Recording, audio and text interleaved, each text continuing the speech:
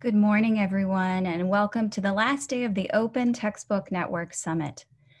Thank you for joining us for today's session entitled Community Conversation Open Education in the Time of COVID.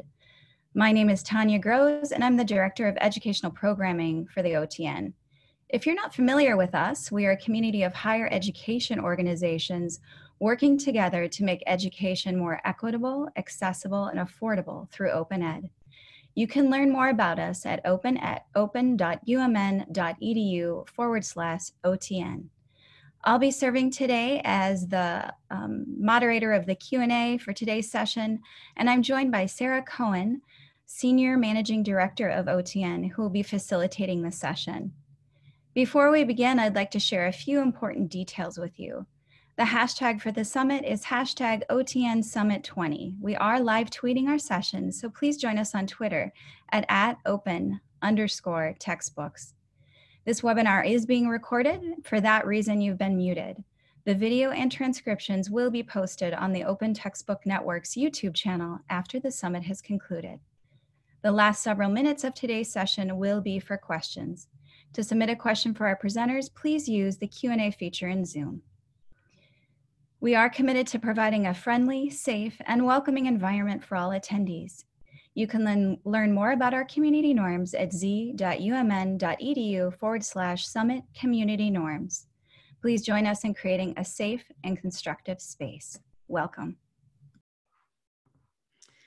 Thank you, Tanya, and good morning, everybody. What a pleasure to have you um, join us this morning on this last day of our 2020 Summit. Um, before we begin, I wanted to um, set some context for today's session. Um, this session is for OTN members. And as I said on Monday's session um, on the state of the states, um, that was really focused on a statewide perspective of what is going on in this time of great uncertainty. And I think it's a great time to remember that this is very much what our community is about. It's about um, surfacing our challenges and the uncertainties um, and the issues that we're facing in open education at our individual institutions and even at a larger level and talking through them together um, and exploring what we can do together to address them. So this is very much in line um, with what we hope you find the OTN community to be about. Um, today, we wanted to take a more institutional perspective onto this challenging time. And so um, we've invited five panelists from different institutions, um, different types of institutions around the country. So it's not just the type of institution, it's also where they are located. Um, and I hope that we will get to have an interesting and productive conversation about what each of these panelists are facing um, as we go forward. Um, all of the panelists do have open education as a core responsibility um, in their position. So let me introduce you to them. Um, today's panelists, um, we're delighted to welcome Lauren Ray, um, the Open Education and Psychology Librarian at the University of Washington. Happy to have Olivia Reinauer, Coordinator of Library Services at the Chesapeake, Virginia campus of Tidewater Community College. I'll also say that Olivia is one of the instructors for the OTN certificate in OER librarianship. We're also welcoming Ariana Santiago, the Open Educational Resources Coordinator at the University of Houston. Hello to Elaine Thornton, Open Education and Distance Learning Librarian at the University of Arkansas Fayetteville, also an instructor in the Certificate in OER Librarianship. And Michael Whitchurch, the Digital Learning Services Librarian at Brigham Young University. Welcome to you all. Um, the format for today is that each of our panelists is going to share some reflections um, on kind of open education in the time of COVID. And then we have some prepared questions that we're going to walk through and then um, give plenty of time for you to ask questions. Um, we also had asked in the OTN Google group for some questions, so we have um, a few of those to explore as well. So I'm going to turn it over to Lauren for her initial reflection. Thanks, Lauren. Hi, everyone. Thanks so much. Um, really happy to be part of this conversation today. Um, so as Sarah mentioned, I'm at the University of Washington, which is in Seattle. Um, many of you are probably aware that Seattle was kind of the first epicenter of the COVID pandemic, um, which seems so long ago now. Um, so just a little bit about uh, my library and OER since COVID. Um, we um, shut down the University of Washington libraries um, and campus around the second week of March. Um, we've all been working in the libraries at um, stay at home since that time. Um, as some of you might remember, this happened uh, right during Open Education Week. So it felt like there was a sort of a a lot of activity happening um, and the culmination of a lot of work happening right as we were sort of all going into our um, shutdown at home. Um, so, but since that time, um, we've had a lot of really rapid communication changes across the libraries. Um, there's been um, a very active new Slack channel, lots of meetings uh, moving to Zoom, which I'm sure everyone's familiar with. Um, and we have uh, multiple coming back to campus task forces in our library system um, that are really working um, daily to kind of talk about um, planning for all of these changes and um, kind of dealing with the uncertainty around um, what will happen with our campus. currently, we're closed throughout the summer, still at stay at home, and expect that there's potential for that to extend into the fall.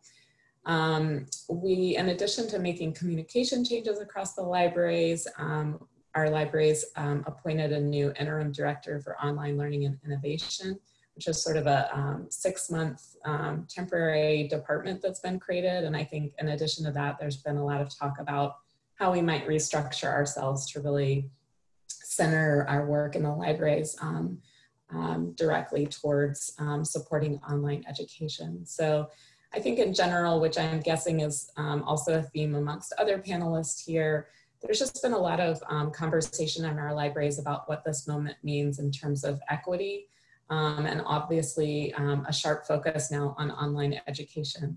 Uh, being at a research focused um, institution, I think for our libraries, there's also sort of this shift to thinking about um, everything that we do uh, with more of a lens towards teaching and learning.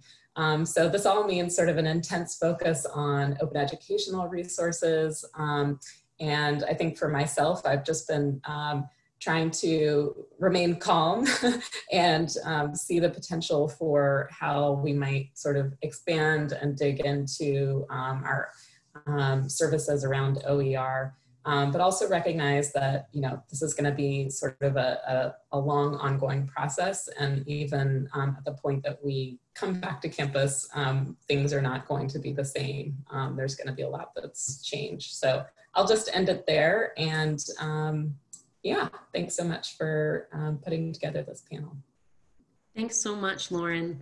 Mm-hmm. We're going to go all the way to the other side of the country and perhaps your screen over to Olivia. Hi, so yes, hello from Eastern Virginia. Um, again, I'm at Tidewater Community College. And um, let's see, so we stayed open just about as long as, as we could until our Virginia governor um, issued a stay at home uh, mandate.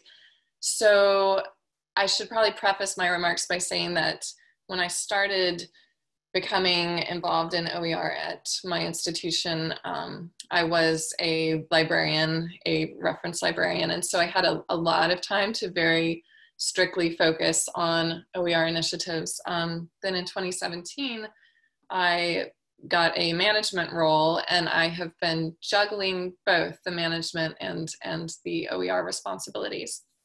So since you know about the beginning of March since since sort of the coronavirus um, issues began.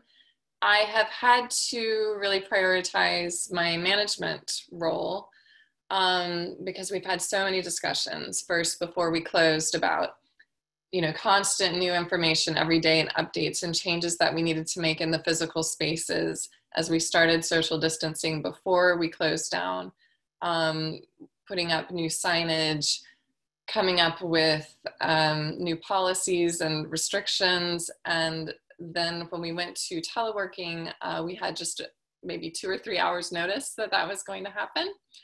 So when we started working from home, a lot of my meetings and conversations were around how are we, what are the staff going to do from home? Um, how are we going to handle that? And then more recently has shifted to what's going to happen when we reopen, which could be as soon as July or as late as fall or or even later, just depending. Um, in fact, we had started returning to work on a limited basis on June 11th.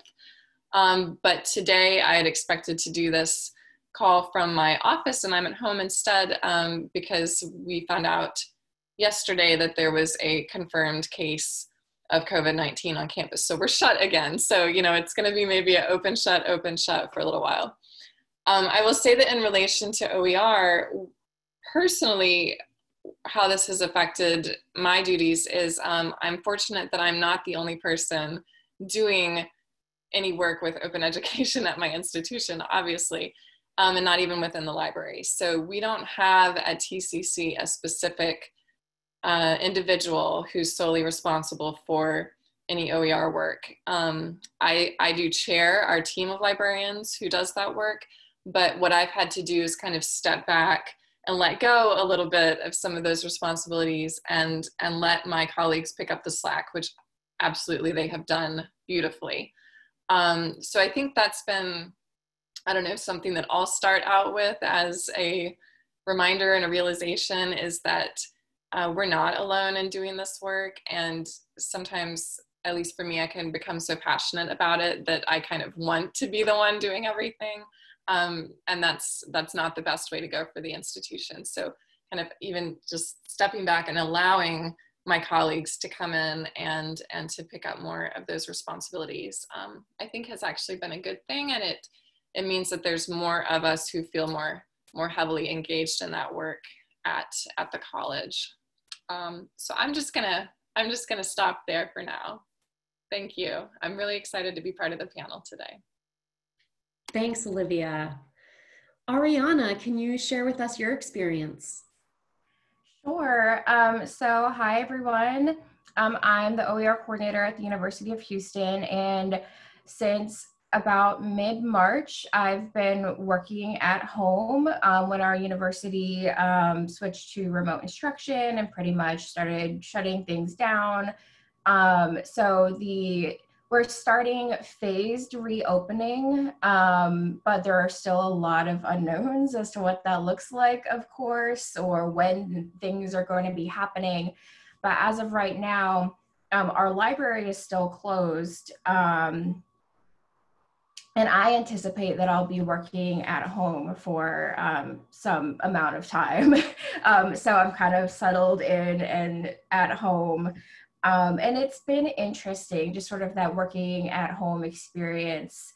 Because um, there was, at least from my perspective and how it's been going for me, is like it was kind of a rough transition at first, but then I kind of took to it really well and i'm very fortunate that i feel like this is working okay for me in terms of being able to do my work still and i'm not experiencing major struggles around that but i know that's not the case across the board. So that's something that i always try to keep in mind um, is that we're all experiencing this so differently and dealing with so many different things. Um, and in terms of open education um, my focus for the for my main focus right away when all of this happened was I need to keep things going and keep things moving so that instructors at our institution can continue engaging in open education and continue having those opportunities um, in terms of the the incentive program that I manage. So I was like, I need to I've got some tight deadlines. I need to keep things going, figure out how to make it work. So I was very much in that zone of like, I need to keep things going and not let anyone down, I guess is kind of how I was thinking of it. But that's sort of where I was for quite a while. And I'm kind of out of that and feel like I have more space to take a step back and look at the bigger picture. Um, so I'm still kind of in moving into that phase of things. Um, I think I'm going to kind of keep it short and sweet and stop here before I just ramble on into who knows what. So. Thank you, Ariana. Elaine, can you share a bit about how things are going for you? Sure. Um, it's great to be here. Um, I kind of go, I'm like Lauren, I kind of go back to all the activity that we had going for Open Ed Week, which was kind of like my uh, before and after. um, we had lots of programming. We had just hosted that Friday, March 6th, we had just hosted a very well attended statewide meeting. And for us being um, in Arkansas, we don't have a statewide um, affordability, any statewide initiatives or any affordability legislation. So, um, you know, we were really excited to have all of the librarians, instructional designers, faculty from schools across our state um, come to the University of Arkansas in Fayetteville that Friday for, you know, a big meeting just to talk about, you know, the kinds of things we might um, do to kind of bring some kind of more concerted effort to our state. So we go from that um, to the rumors that start swirling about, you know, campus is probably going to close, the other schools start closing. We were still two weeks away from spring break, um, but it was pretty, we were pretty sure we were going to be closed sometime between that next Monday and spring break.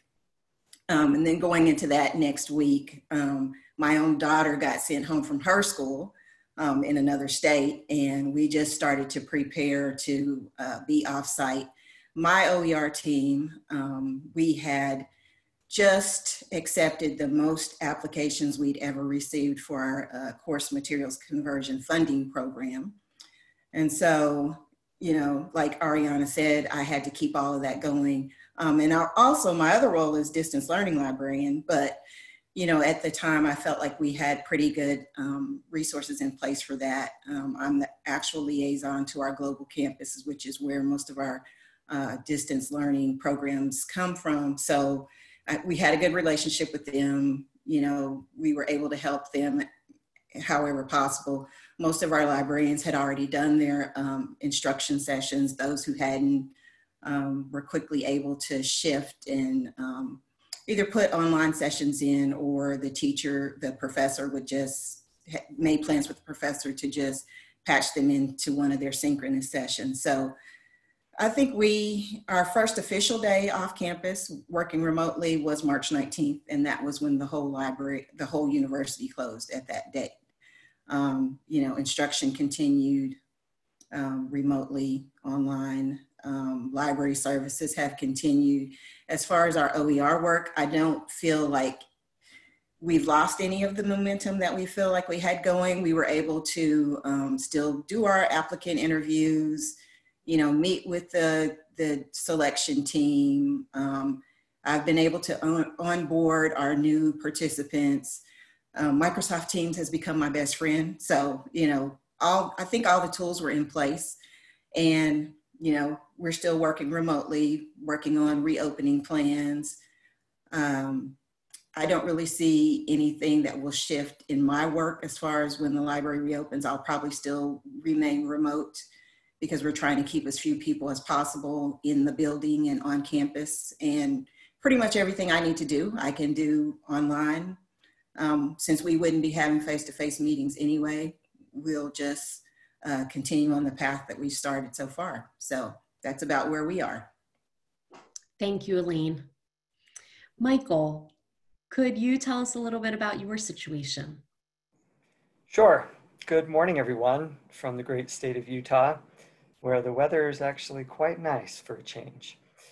Um, where we are, so similar to others, we had planned a series of workshops for Open Ed Week, and those were very quickly canceled. Uh, one interesting thing is our library never shut down. We continued to provide services small, but the services continued uh, at a distance and they kept working on moving furniture and doing all sorts of things to try and keep people distanced. Uh, our administrators, there's one administrator in the office every day of the week.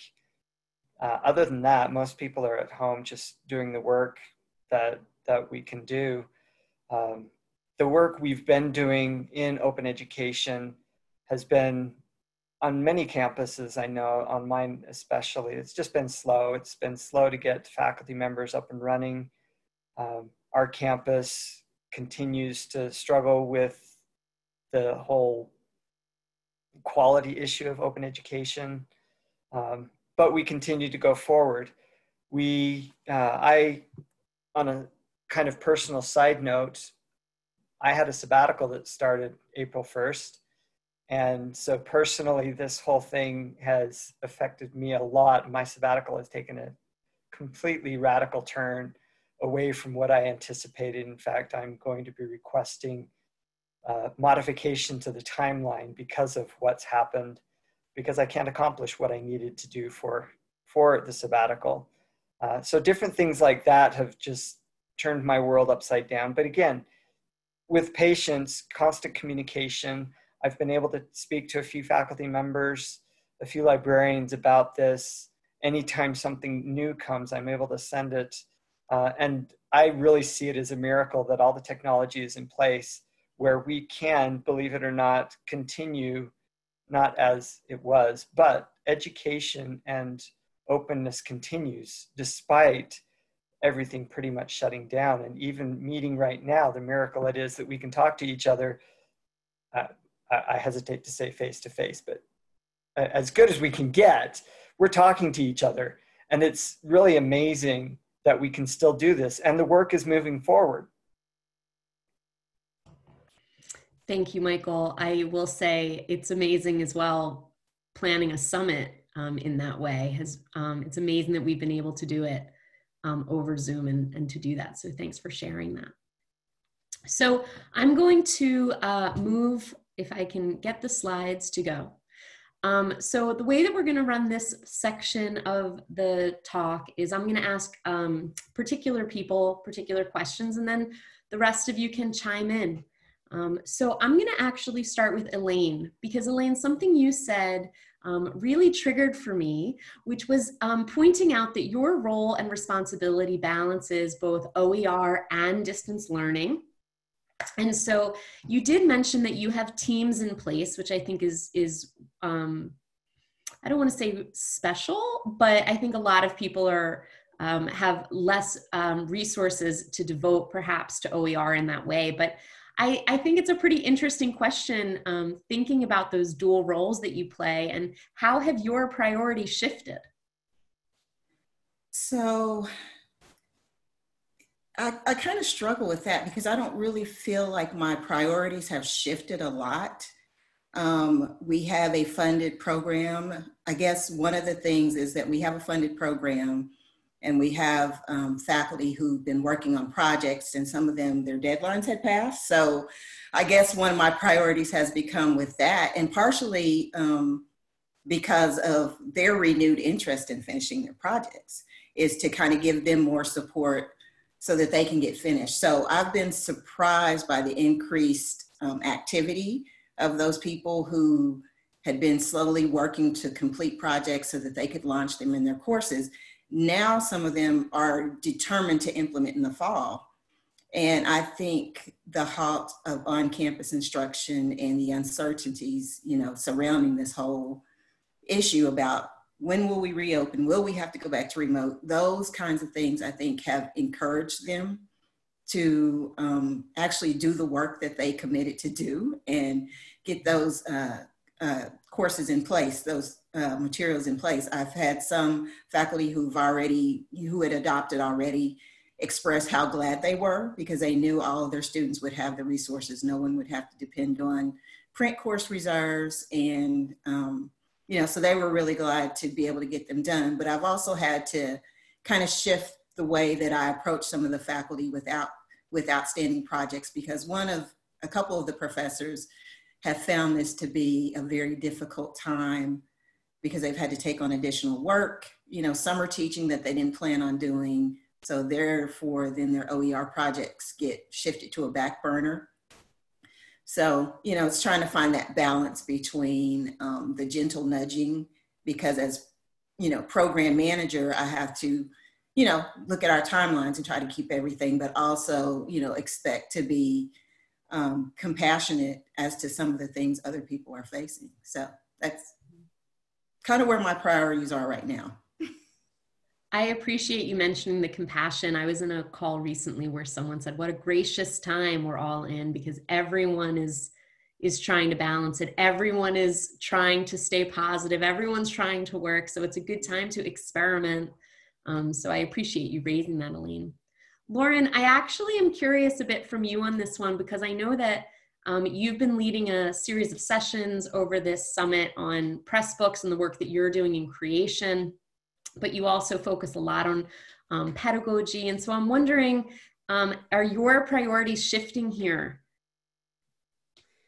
Yeah, um, I was thinking about that this morning and just, you know, I think kind of going back to that communication piece, um, I think as many of us have kind of faced the issue of when um, when we shifted to an entirely online environment, um, a lot of um, institutions were getting sort of inundated with um, offers from commercial textbook vendors and ed tech. And um, I have previously last year in my libraries, I was doing work, which I talked a little bit about yesterday, um, to do training for our subject librarian teams um, just to sort of like build capacity for OER support in my organization and get my colleagues up to speed on um, Pressbooks and OER issues. And I think since we've had this COVID moment where, you know, the kind of issues around um, equity and cost and privacy are sort of thrown into sharp focus because of all of these offers that everyone is getting, um, it made me kind of take a step back and think, I need to do more around that because I, I still think there's like, um, a, it's a very complex issue, you know, the sort of affordable versus free and um, what sort of issues these offers may bring up for students in terms of um, cost as well as privacy. Um, so it's made me sort of think about shifting back to continued um, focus on conversation with um, with my colleagues in the libraries um, to sort of um, renew those conversations around like what are issues in OER if you get these kinds of questions from faculty or if you yourself as a subject librarian are getting um, advertised these sort of offers like can we sort of talk as a libraries about you know what that means and um, what sort of um, what it means to sort of invest or do these trials that may go away and then offer consequences later? So um, I think it's it's been sort of a shift towards like renewed focus on um, sort of um, scaling the conversation and um, having more conversations with um, with different players who may be sort of on the front lines of like responding to questions from faculty and students about um, teaching and learning resources. So so yeah, I'll leave it there. Olivia, do you want to add anything there? Because you had mentioned that you're trying to welcome more people into this work. Um, you know, in that idea that Lauren's saying around, you know, trying to reach out to the liaison librarians or different people. Is there anything you want to add there? Sure. Um, yeah, I will say, and I was thinking a little bit, you know, as Lauren was speaking about at my library, our immediate priority has been well two priorities safety and access you know and sometimes those two come into conflict in terms of physical access. Um, but we've been sort of i have to say initially sort of let uh, open education kind of fly out the window in, in a sense. We were just focused on any kind of access right? So we were kind of dig, digging into our toolbox. So we're using things like a database called Swank for streaming films for the instructors that need to show film in their class and um, digging into the ebook collection and um, you know just anything that we could do expanding our online chat service presence for for the access to services.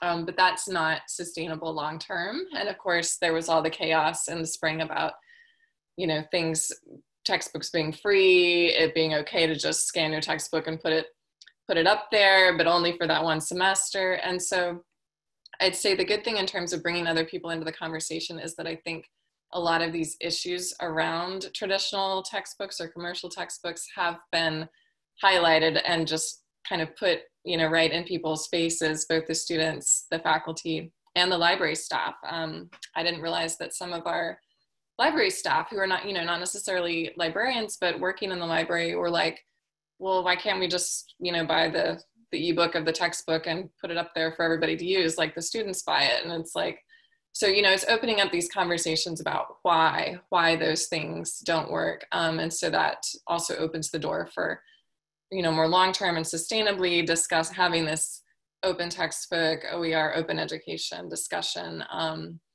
so that there can be sustainable access not just emergency access what a great segue olivia into our next question um, ariana I was hoping you could speak to this one. I, I know that you've been running an incentive program for a while um, and done a ton of outreach. Um, and so, I'm, and you talked a bit about, you know, you see yourself at home for a while. Um, and so I'm wondering if you can talk a little bit about how are you adapting your strategies um, for open education? Yeah, that's a really good question. And um, I have found myself sort of adapting um, what I would usually be doing at this time of year. Um, and that's because I have been seeing a little bit more interest in OER um, in terms of people coming to me, um, whether that be faculty or campus partners.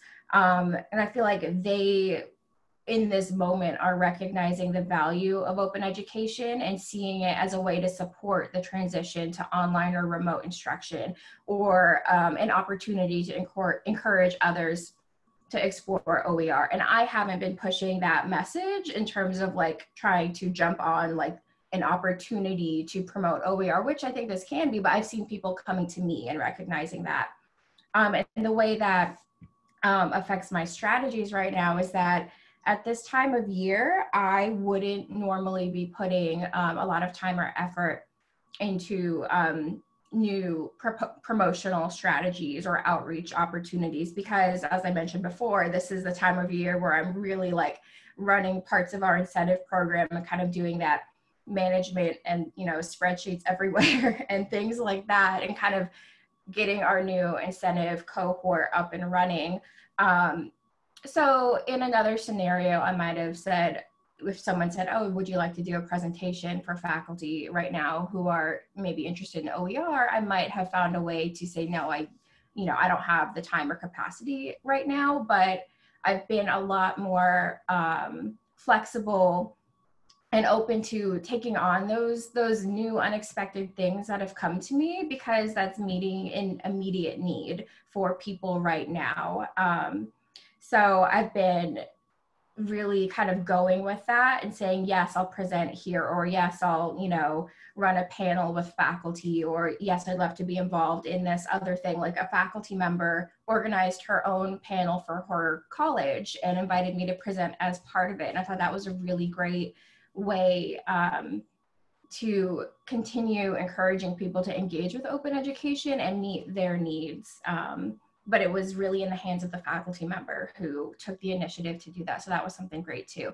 So another kind of strategy is that I'm um, really put, try putting things in the hands of our faculty champions. Not to say that I didn't do that before, but I'm not so concerned with maybe um, planning something and setting it up perfectly in terms of what my outreach strategy would be it's like yes you're excited and you're enthusiastic about this and you want to help your colleagues like run with it. I don't even really have to be involved that much. Um, so i'm seeing some of that happening as well. Um, so it's kind of um, kind of a positive aspect of adapting my strategies but it's really kind of breaking away from where my focus would typically be right now and and, and meeting those needs that are coming up and, and meeting that interest that's there. Great. Thank you so much, Ariana.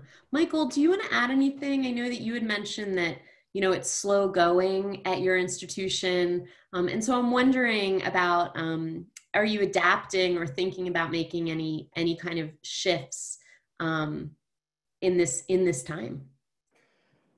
Well, I kind of speaking also to the shifting priorities, it it works well with with our adapting. We just found out this week what's going to happen fall. Uh, our campus is going to open for on-campus courses, but many of them will be hybrid or some will be fully online. There will be more online courses. There will be hybrid courses. And so what's going to happen to me adapting and shifting is now that I know what is going to happen this fall, now how can I help?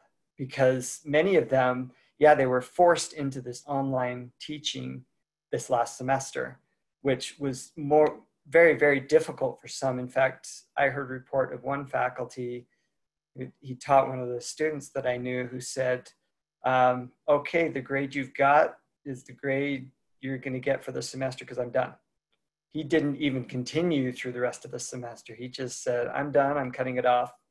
And I, I don't know who it is or the circumstances behind it, um, but we had faculty like that. So, how can we support faculty in those situations who may not be technically adept at this kind of thing? Um, reaching out to, we also found out that there are going to be more online courses. So BYU Online is who does those courses, developing those. I've got a good relationship. So how can I work with them to do the same thing? And it's, it's doing the same things I've been doing, but in a different priority and in a different, uh, in a different order of getting the things done because they're the ones now that are in desperate need of these types of resources. And related to that, something that uh, I think, I can't remember who brought it up, bad memory, but related to the vendors who are coming and directly contacting the faculty, how can we get faculty to understand, educate them regarding what does that mean that they have free and open access to this content for now? And it's kind of like a gateway drug um, you get them hooked and then they can't live without it. So then where's the money going to come from? And anyway, so those are some of the issues we're going to have to deal with. But regarding open educational resources, can we get that content to them without the the the hook, meaning it's a choice to take it or leave it instead of having to pay for it afterward. Th- those are some of the things we're going to be adapting into the future. Michael, it's such a great um, segue again into our next question. And actually, I'll say that was one of the questions that came through the survey was kind of the perspective of um, uh, managing expectations with the onslaught of temporarily free um, or temporary expanded access. So thank you for addressing it. Um, so I feel like that is an um, perhaps not a new challenge. It's just being amplified right now. Um, Olivia, I was thinking about you with this question um, in large part, and I, I, think this is also having that um, longer term relationship with you. But you know, TCC is known for being kind of that the first Z degree, you know, this um, shining star quite early in OER. Um, and so I'm just wondering, you know, have there been new challenges for open education? I've heard you talk a lot about the challenges on campus and in your managerial role, but um, thinking about those newer challenges to open education. Oh yes, there are always new challenges. Um, we, um, yeah, so TCC, we've been through we've been doing this for a while and so we've been through ups and downs and growing pains with our z degree. And um, we already kind of had we've sort of had two challenges simultaneously occurring. You know we've had the um, covid-19 challenges but we also at this exact same time were running into the end of our contract with lumen learning. So our z degree had been built in collaboration with them on their platform um, for the most part. And our um, community college system this year stopped paying for that contract. Uh, and TCC does not have the money to continue to pay for that contract um, so that the students will have free access. So, in a way, I feel like what's happening now is, is sort of masking the um, chaos that already would have been occurring as faculty are having to either begin charging students still a low cost, you know, is still under $40, but we can't, we can no longer say um, you will not pay any money for course materials, you know, to complete the Z degree if you're having to pay $35 for access to Waymaker um, to, to take your course through that. So um, we already had a huge mass of faculty who are needing to shift from Lumen's platform into a more homegrown version of um, just building their OER courses directly in Canvas, our LMS. Uh, and so we've got that, but then we have this influx of new faculty now who are interested, which is great. But how are the libraries and how is TC and our very small staff of instructional designers going to support that? So we have already the faculty that needed to transition their courses who were previously teaching using OER, and then we have new faculty who are now realizing the challenges of the textbooks that they were using, um, the need to be more flexible and adaptable in the future moving forward. Um, and so at the same time, of course, we've got then this upcoming budget crunch where all of our positions are frozen. Um, and so I would say the, the newest challenges for us are just how are we going to sustain this internally, um, you know, with without money, without grants and that sort of thing. So I'll stop there. Thanks, Olivia. I, I think that um, you've touched on a major challenge that we hear um, from a lot of people. It was, again, a question that came through on that survey around budgets. Um, before we kind of get into some more questions from people um, on the session. Elaine, I was hoping you could speak to this one um, about found opportunities, especially because you talked about you know you're seeing people that are wanting to push through and get through their program like get through their projects right now. And and um, olivia's mentioning you know new faculty that are interested in this. Um, and so i'm just wondering if if there are any additional found opportunities that you are seeing right now well you're yes that's right about the you know the the renewed interest in completing projects um, the other opportunities have just been, you know, we're trying to expand um, our partnerships with the academic units. So right before all of this happened, I had just worked out um, a plan with the history department, with the chair of the history department, who is, you know, one of our our campus OER affordability champions to expand the reach of um, U.S. history surveys so that you know any student who takes a U.S. history survey will not have a textbook cost. So they're going to do that with OER and affordable resources. So that was kind of um, an opportunity we were working on before and have kind of worked on it more this summer. Um, and then, you know, so that has kind of spurred my interest in working with other kind of course coordinators to do that kind of thing. Um, I've got a couple targets in mind.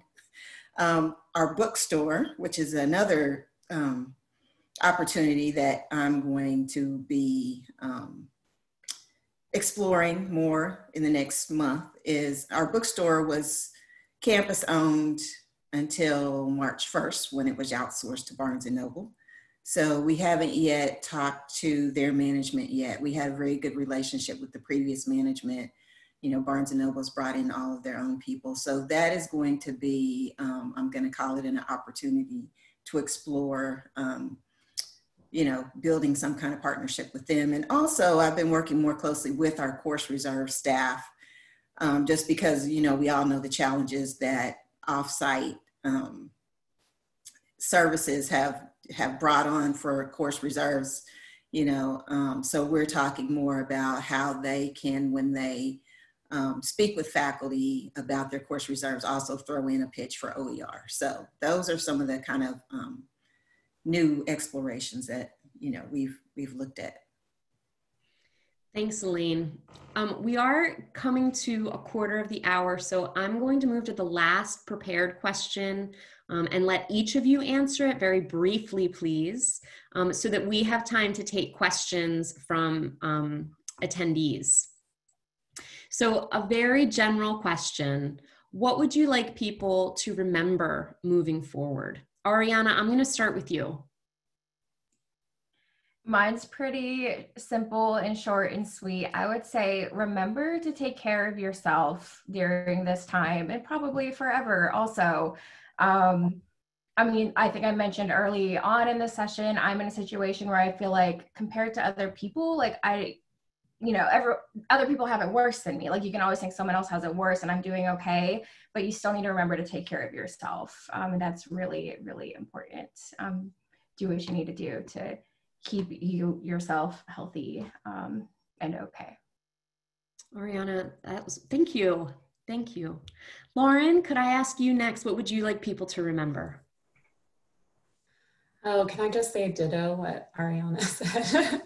um, yeah, I mean, I think that sort of taking a step back in the big picture of this moment is, you know, we're talking about this because we're dealing with a global pandemic. It's affecting everyone really different ways and putting challenges on on on everyone that we work with um, as parents, caregivers, um, just human beings, kind of having complete uncertainty about the future. And so um, I appreciate in my library there's a real focus on prioritizing care before sort of um, looking at opportunities to do expanded things. So um, I think you know passing that along, this kind of um, um, care and, as you mentioned earlier, compassion and graciousness during this time, um, and uh, not sort of letting the moment of wow, there's so much opportunity right now to to do stuff to sort of get in the way of um, of having that compassion and slowing down and kind of um, giving space to a lot of people. So, yeah, what I would Thank say. You. Mm-hmm. Thank you. Michael, do you want to add something? What would you like people to remember? A uh, couple things. First off, uh, I think Lauren said it very well one of the first times she spoke. She said it was a COVID moment. And uh, I, it, it's that word moment to me that is so key. it, it is a moment, it, it is an experience we're going through right now. We will get through this um, we have no choice. We will get through this. Uh, some will, some of us will be a little better off than others of us, depending on our campus, the people we're working with.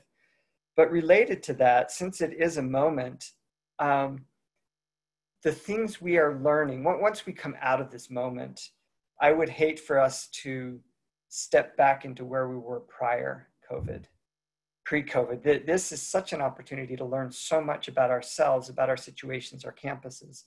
And the things we start doing now, we should really just continue on. Well, those things that work, we should continue on. It, it's such a great learning moment for us. Um, and then the last thing I would say is I don't think this is the last moment we're going to have. We have all sorts of other things going on in the world wars, politics, the, the race things that are going on right now, all of these things continue to swirl around us and will continue to affect how we react and how we deal with these issues. So be prepared to deal with them. This situation has taught us the flexibility and capability that we have to deal with these difficult situations. Thank you, Michael. Elaine, your turn. So I would just say um, flexibility is the key. Just remember to remain flexible. Um, and then the other thing, um, just remember the students. Um, and some are not only facing the uncertainties of their education and challenges to affording it, but you know the trauma of racism on their campuses, and then the constant barrage of news and social media and all the negativity out there. So we just need to keep remembering to keep the, the students um, as our central focus. Thank you. Olivia. Oh no, I have to wrap this all up. I wholeheartedly agree with everything that the other panelists have said and said very eloquently. Um, I guess I'll just add for people who are maybe feeling stressed or pressured that like they're not doing enough right now or you know open education is not the top priority at the moment um, never fear you know we're responding to an emergency and i think that um, we can be very hopeful for the future, for the future of open education on our campuses. The groundwork has already been laid for that. And as soon as faculty have a little time to adjust and kind of come out of the, you know, tunnel vision, stress, get my course ready mode, um, I think that there's a good groundwork, like I said, set for um, moving toward more open educational practices and um, use of, of open textbooks and, and other OER. And then um, finally, at least for me personally, maybe for others, it's easy to become hyper focused on the things that are within our job responsibilities. So something like open education and OER, and those are wonderful things, but you know, our focus, of course, always needs to be on student uh, learning and equity of access to education. And there are a ton of different components and strategies around that, even beyond um, open education, and just to keep our, our eyes and our minds open to, to all of those um, different approaches. Thank you. Um, we have a few questions that are swirling around, and so I'd like to um, ask one that came through our survey and it connects to one that is coming into the q&a specifically around budgets um, and layoffs. Um, and so the question um, and I, i'm not going to formulate it well because i'm going to try to combine these two things together. So you know budgets are being severely impacted as a number of you have talked about and um, there's kind of this this challenge around our our layoffs affecting your OER programs. Um, and I think that's true both in terms of staffing as well as um, student assistance.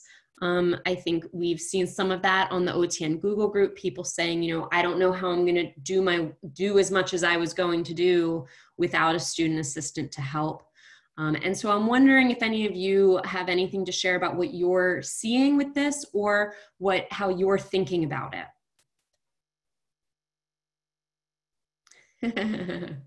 Don't you all speak at once.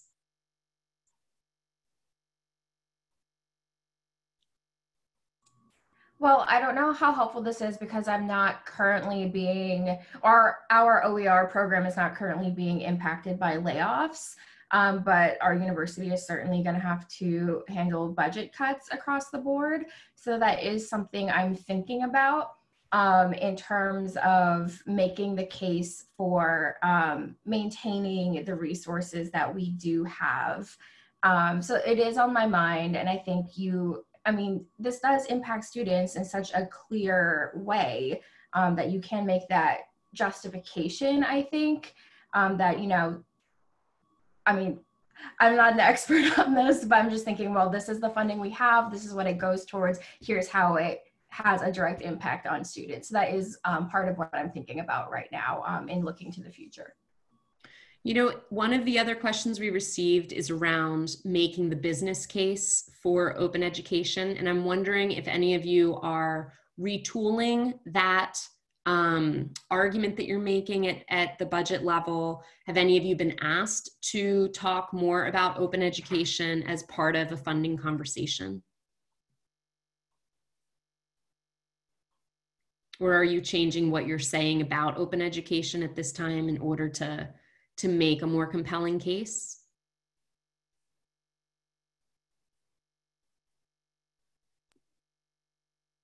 I wouldn't say that I'm changing anything. Um, I've always felt the pressure to make it a compelling case from a budget perspective. Mm-hmm. But I think also that, you know, the powers that be on campus have to understand that all that takes time too, because you have to get people on board and actually using the resources for it to make a difference in the lives of the students on your campus. So, you know, I, I just, I think that's a pressure that's always been there. Does anyone want to add anything? Olivia? I'll just add that, you know, enrollment already was and will probably continue even more so to be a uh, concern for those of us in the community colleges, at least in Virginia, and I think, you know, pretty much nationally and also at our, um, our four-year counterparts. So anything that we can do to kind of, you know, entice students. Um, of course, we may be coming into a recession, which is sometimes a good time for community colleges as people are trying to retool and get back into the job market. So uh, I know that it's going to be a priority that what I mentioned about rebuilding our Z degree so that we can say to students, you know, come here and at least, you know, not only will this be an affordable education for you um, at a community college, but you will not have to, you know, expend that additional money for your course materials. So I think that argument will continue to be very compelling. Would anyone like to add anything? Okay. Um, I think one last question was around um, helping faculty um, who have made the change to their course. You know, they did it in this emergency situation. Um, and they might have done it in a way that did not include OER, but they did revamp their course. Do you have any tips for helping a faculty member make the transition again, right? They had to make that change and now it's like oh maybe they are interested in open but they just finished doing it that exhaustion any tips for addressing that in working with those faculty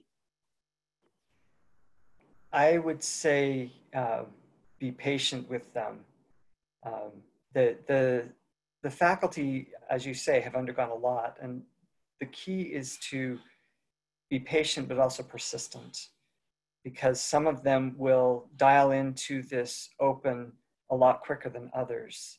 And those that dial in quickly, you can talk to more quickly, get the, the content in their hands more quickly.